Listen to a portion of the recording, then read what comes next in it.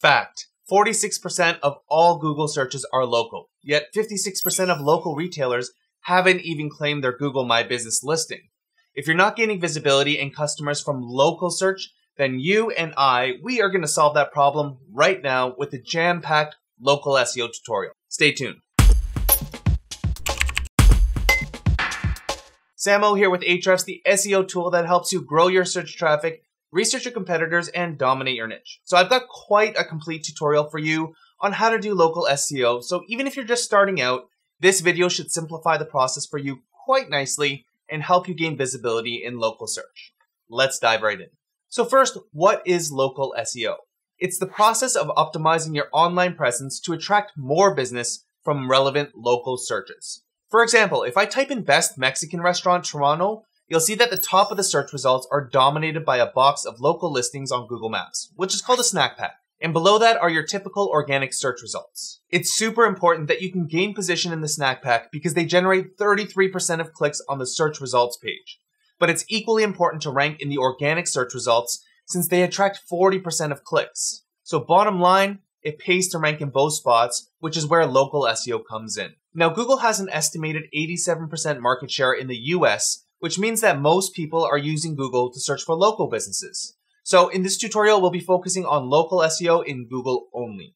Now let's get on the same page and draw out an example scenario. Let's say that I'm opening up a new coffee shop in downtown Toronto for cool, hardworking people like SEOs and entrepreneurs. We'll be open 24-7 because our target audience tends to work around the clock. And of course, there will be fiber internet because there's nothing more frustrating than slow public Wi-Fi. To differentiate ourselves from other coffee shops and build some nice recurring revenue, we'll be offering virtual office services for a set monthly fee, which includes bottomless coffee, your own private cubicle, and incoming mail service. I'm invested in this concept, I've dropped a lot of coin, but no one knows about my business because they're finding other coffee shops like this in Google search. All right, so we're going to start with step zero, and it's something all local businesses need to do, and that's to ensure your website is optimized for mobile. According to Bright Local Study, 61% of mobile users are more likely to contact a local business if they have a mobile site. You can use Google's mobile friendly test tool. Just enter in your domain or URL, and shortly after, Google will tell you whether your page is mobile friendly or if it's not. On to step one, and that's to claim and optimize your Google My Business listing. This is arguably the most important part of local SEO, and it's actually quite easy to do. Just go to google.com slash business, sign into your Google account, and the first thing you'll need to do is enter in your NAP, which stands for name, address, and phone number. If you have a business with multiple locations or you purchased a franchise, then you can start typing in the business name and you'll see a list of businesses that are already registered in Google's database. My coffee shop is called High Speed Coffee, so that's all I'll write and click next. It's important to note that your business name is not meant for keyword stuffing. So I wouldn't write something like coffee shop downtown Toronto 24 7 high speed coffee. It's not going to help you rank, so don't bother. Next, we'll enter in our address.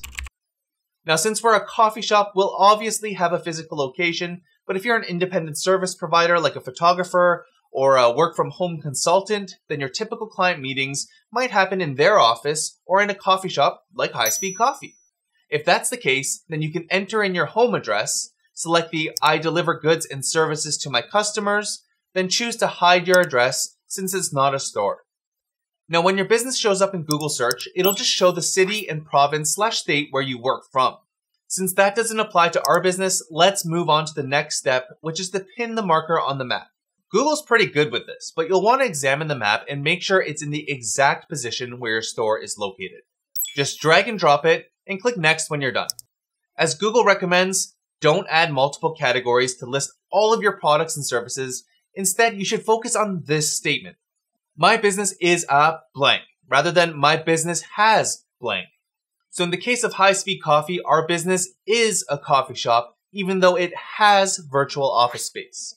Just start typing in a description and select the most appropriate one from the dropdown. Let's go to the next step, which is to enter in your phone number and website which is pretty straightforward. This step is optional, but I recommend including both. Now we'll need to finish off the process and verify the website, which can be done by phone or mail. You just need to follow the instructions from Google and your My Business listing should be active in no time. Before you continue, you should add a few more optimizations to your listing. you can click on the info menu in the sidebar. Then you can click on the pen icon to edit different parts of your listing. So you can add more relevant categories, for example. Other things you should do is to set your hours of operation, add specific URLs to important pages, add a description of your business, and photos of your actual location. Now that we have the foundation set up for local SEO, let's move on to step two, which is to do some keyword research. There's some obvious terms you'd want to rank for, like coffee shop near me, high speed coffee, what time does high speed coffee open or close, and high speed coffee phone number. With these kinds of local search queries, Google pulls the information from the Google My Business listing. For example, if I type in what time does Starbucks close, Google will pull up the Starbucks in my vicinity and show the hours of operations for all locations on the map. And if I specify a location or use a single location business, then you'll see a quick answer box like this, which is pulled directly from Google My Business. So rather than going deeper into the Snack Pack or Google Maps listings, we'll be talking about keyword research for the organic search results. First, we need to brainstorm your SILs, which stands for Service in Locations. As a coffee shop, I'd want to rank for queries like these. Coffee shops in Toronto, 24-7 coffee shops in Toronto, 24-hour coffee shops in Toronto, virtual office in Toronto, and we want to rank for synonymous variations like cafe in Toronto. A photographer, on the other hand, might want to rank for photographer in Toronto or photographer in a nearby city. Here are a few ways you can generate solid keyword ideas. First is to use Google's autocomplete. Just type in the main query you want to rank for, and you'll see a few good suggestions here, like open late, financial district, and Toronto, Canada, which may likely come from tourists or travelers. If you're in the services industry, then you can look at local classified sites like Craigslist. So I can search in the services category and use a seed keyword like photographer, and you'll see some cool ideas here like experienced, freelance, engagement shoot, and more. But in my opinion, the absolute best place is to find the keywords that your competitors are already ranking for. And the reason why this is so effective is because this is basically telling you which keywords that you can also rank for. You can use a tool like Ahrefs Site Explorer and enter in the domain of one of your search competitors. Next, go to the Organic Keywords report, and this report will show you all of the search queries that the domain is ranking for. You'll see that they're ranking for a lot of branded queries, so you can use the exclude box and type in the brand name, which will give you a nice list of relevant keywords to target. And just from a quick scan of this list, there are a couple of keywords that I would have never thought of, like coffee places near me and coffee shop near Eaton Center, which is a large mall in downtown Toronto. You should have a solid list of keyword ideas now, so it's time to move on to some on-page SEO. If you're familiar with SEO, then you'll find that a lot of the typical on-page SEO best practices apply here. For example, it can be advantageous to include your keyword in your H1 tag, add your target keyword in the title tag, set the URL slug to your keyword, and use short URLs. But there are a few other things you should specifically do for local SEO. Now, these optimizations will vary depending on if you have a single location versus multiple locations, so I'll cover both. The first thing you'll want to do is optimize your homepage. In general, most single location businesses should optimize their homepage around their primary location. So as a Toronto-based coffee shop, I would probably target keywords like coffee shop Toronto rather than just coffee shop. Here's why. If you look at the organic keywords report for that Toronto coffee shop we were looking at before, you'll see that nearly all of their keyword rankings revolve around their homepage. And you can see that they rank in the snack pack for that keyword phrase. But if I do a search just 30 miles away from downtown Toronto, you'll see completely different results for the same keyword phrase. So here are a few on-page optimization tips for your homepage. First, show NAP information, which again is name, address, and phone number on the homepage. In fact, you can add this to the footer of your entire website if you operate from a single location, as you can see in this example here. And it's absolutely critical that your name, address, and phone number match exactly or as close as possible to what you've submitted to Google My Business. You can also add testimonials or reviews of your business here and use schema markup, which we're going to attack right now. Schema markup is code that you add to your website to improve the way search engines read and represent your page in the search engine results. You can use Google's structured data markup helper to eliminate a whole mess of complicated coding. Just select a data type. So in this case, we choose local businesses, then enter in the URL of the page you want to mark up and click the start tagging button. Next, just click on the elements that you want to tag. So if I click on the logo here, I can set it to the name. Then I'll scroll down to the footer of the page and add a few more markup elements. So here you can see that they have two phone numbers, so you'd want to choose the one that's submitted in their My Business listing. And the last thing I'll add is the address. You would need to select all of the different parts of the address and choose the correct field. Also, you'll see that they include their address here, but left their postal code out. So in this case, if I were this business, I would include that in the footer too. Once you're done, you can click on this button and a piece of code will come up, which you can add to your website. Now, if you're a business that has multiple locations, then you're exempt from the rule of optimizing your homepage around your primary location. And by multiple locations, I'm not referring to a couple brick and mortar shops 10 miles from each other, but bigger companies like hotels or car rentals where they might have hundreds or even thousands of locations. Instead of the homepage, you'd want to optimize local landing pages by including key elements like the location's NAP, operating hours, and sprinkle in related keywords targeted at that location. Let me show you how Enterprise Car Rental does it and pay attention to the URLs too as we go through this process. If you want to rent a car in the US, then you'll start at their location directory where you need to select a state where you want to rent a car. Next, you'll need to pick a city within that state. Then you'll be brought down to the branch level. Finally, you'll see the local NAP information that's actually designed to convert visitors into customers. Scrolling down, you'll see the operating hours for this specific location. And if we look at the organic traffic for these four pages, you'll see that they all get a good amount of targeted search traffic on landing pages, which I'm sure is quite profitable. The next step is to build local citations, and citations are online mentions of your business.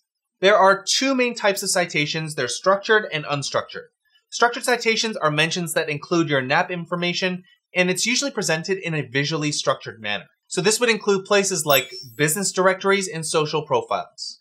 Unstructured citations are mentions of your business that don't follow a structure. So this might be in blog posts, preferred vendors pages, or on other websites. And building local citations is super important. According to a 2017 study done by Moz, citation signals were one of the top local ranking factors, which was true for both Google Snack Pack results and regular organic search results. And this is likely due to having consistent NAP information from all over the web, which verifies that the data Google has in their My Business listing is accurate. On the other hand, inconsistent NAP information can confuse or mislead both Google and potential customers. So your job is twofold. First, you need to make sure that your existing citations are correct and consistent. And second, you need to build more relevant citations. So to handle the first part, you need to perform a citation audit. More often than not, some of your citations will be incorrect and or incomplete and you can run a quick search using Moz's local search tool. Just enter in the name of your business and choose one from the auto select options from the best results. From here, you can see a breakdown of the complete, incomplete, inconsistent, and duplicate citations, which you can then manually fix. You can also do a manual audit using Google search operators, which I won't get into now, but you can check out our local SEO blog post. The link's in the description. After you've completed your audit, you'll want to build more citations. Now, if you're a new business, I would start with a list of core structured citations. Whitespark.ca has a great resource on places to build these structured citations, which I'll leave a link to in the description. Just choose a country and you'll see a list of places to add your mark. You can then branch out to other relevant local directories like your local Chamber of Commerce, other local business associations, and then expand to niche specific websites like TripAdvisor, HomeAdvisor, FindLaw, and more. Another great place is to find citation opportunities is to let your competitors do the work for you. So using Ahrefs Site Explorer, look up the homepage URL of one of your competitors since most citations will lead to the homepage. Next, go to the anchors report. In here, you can use the search box to look for any of these keywords. These are common anchor texts that you'll find in directories, which make them easy citation opportunities. So if I search for a website, then I'm going to click on details and referring domains, then you'll see a bunch of places where we can build both structured and unstructured citations. Another hyper effective tactic you can do is to use the link intersect tool. In the top section, enter in the name of a few of your organic search competitors. So I've already entered in a few domains of the top ranking Toronto coffee shops. Then I'll set the top drop down to show websites that link to any of these sites. And you can enter in your domain in the bottom box, which will exclude links that are already linking to your website. But since we don't have a real website, I'll leave the bottom section empty and run the search. Now, when you're looking through the results, just scan these three columns and look for referring domains that link to at least a couple of your target websites. In general, the more sites a domain links to, the better the chance of it being a legit place to create your own citation. So dinehere.ca would be a solid one that we can add our coffee shop to. With these citation hunting methods, it should be enough to keep you busy for a while, but we can't stop here because we still need to build quality editorial links. According to Moz's 2017 survey, link signals were the most important ranking factor for local organic results. For the local snack pack, links were the second most important factor. Rather than focusing on a full out link building tutorial, I want to leave you with two tried and true tactics that work. The first is to create and promote a useful resource. In this case, a local resource related to your niche would be ideal. I know I say it all the time, but people are more willing to link to helpful articles over salesy content like product and services pages. So a couple ideas would be to create local best of guides or content that would appeal to your target audience. So for example, we could create content on how to make the best cup of coffee where we can plug our own products. We could also create content targeted at coffee drinking solopreneurs on the best and affordable local places for office space since we offer virtual office services. The second tactic would be to guest blog. Even though guest posts normally come with a link back to your site, I want you to look at this as an opportunity to build yourself up as an industry expert. This is particularly important for people in the services industry. People want to hire professionals they can trust and know will do a good job. And oftentimes, they're willing to pay a premium to have the peace of mind that the job's going to get done right the first time. And you can look for local blogs that accept guest posts by Googling any of these queries. So looking at the search results for Toronto Write for Us, you'll see some very relevant local websites that are seeking writers. You can also do this in Content Explorer to expand your list of potential guest posting prospects. Just type in a topic related to your niche. So I'll type in coffee beans, and I'll also set the search to a title search for more relevant results. Next, click on the one article per domain filter, since we don't need to contact the same website multiple times.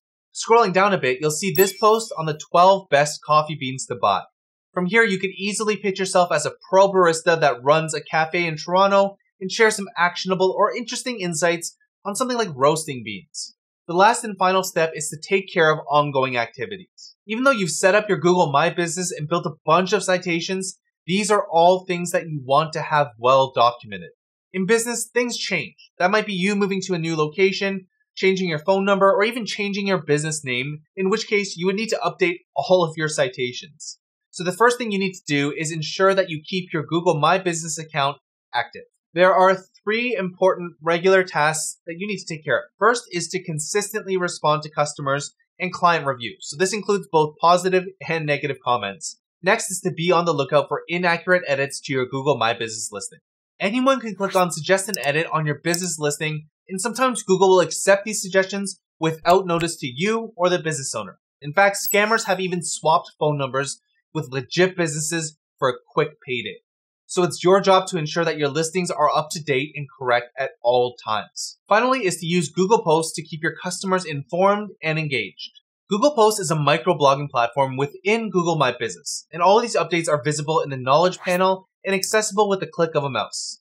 This provides an opportunity to attract more attention to your listing, connect with your audience, and ultimately boost conversions. You can create a Google post from within Google My Business by going on the post menu, click write your post, and then add an image and up to 300 words of text. This is a great way to share your promotional offers or teasers for your blog posts. You can also choose a call to action button from a list of preset options to bump click throughs. I recommend all local businesses play around with this feature and stay active with Google Posts. It doesn't take any more time than a tweet, and there's a ton of potential to garner attention from Google searchers. Now, we've covered a lot here, so what I recommend doing right now is putting these techniques into action and watching some of the video suggestions in the cards, which will dig deeper into some of the topics that we've talked about, like link building, SEO for blogs, and on page SEO techniques. So hit the subscribe button for more actionable SEO and marketing tutorials Go and get your local website ranked, and I'll see you in the next tutorial.